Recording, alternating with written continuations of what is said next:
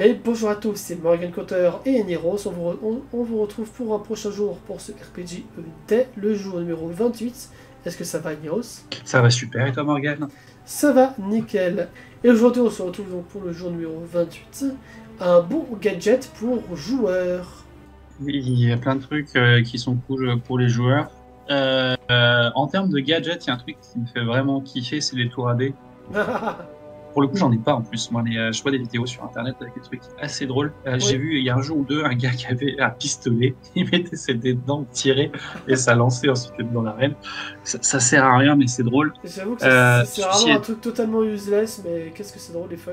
Puis il y en a- il y en a Mais au moins, ça qui- permet de contrôler le lancer un peu aussi. Ouais. Il y en a qui les créent de manière de. Autant que ceux qui peignent les figurines, mais il y en a qui créent carrément leur. euh, Ouais, ouais, non, mais c'est du gadget. Je l'ai jamais utilisé, mais je, trouve ça très cool. Un gadget beaucoup plus utile, c'est un cahier, un crayon. Alors, euh, c'est ce que j'allais dire. Et euh, moi, je, me suis pris un truc qui, de base, est censé euh, noter les scores pour les, jeux de cartes. Mais en vrai, une mini tablette pour faire passer des messages pour les PJ, pour les c'est littéralement un notepad. Hein. T'écris ce que tu veux sur la tablette, voilà. T'écris un message secret que tu effaces après. Et euh, tu fais passer ça autour de la table ou à un joueur que- à qui tu veux donner le message. Et en vrai, pour les petites parties IRL, euh, ces petites tablettes. euh, C'est génial, ça fonctionne comment? C'est comme les trucs pour enfants où t'écris et ça efface? Ou c'est un truc numérique? C'est un peu le même style, non, c'est pas numérique. C'est vraiment genre, t'écris et en fait t'as un petit bouton pour effacer, vraiment. C'est comme les, les ordonnances magiques. Ouais, c'est un système avec des aimants, un truc comme ça. Et là, Ah, je vois le cœur. Pouf Ça s'efface.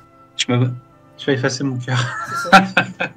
C'est tout, c'est vraiment mignon. Comme, à la euh, base, c'est euh, Wizard of the Coast qui fait ça. C'est Magic, ça, ce symbole-là, ouais, c'est ça, c'est un- à la base, c'est pour les jeux de cartes, voilà. Et j'ai vu ça, je me suis dit. euh, alors, il y en existe des beaucoup plus gros, mais en vrai, juste un petit comme ça, ça, ça fait le taf. hein, c'est top. Première fois que je vois cet accessoire. Ouais, Merci, Morgane. Et voilà, j'utilise quelques fois. Puis, euh, enfin après, même pour les, les joueurs qui ont toujours besoin d'avoir quelque chose dans la main, bah, ça peut leur permettre euh, d'être concentrés et de faire autre chose aussi en même temps.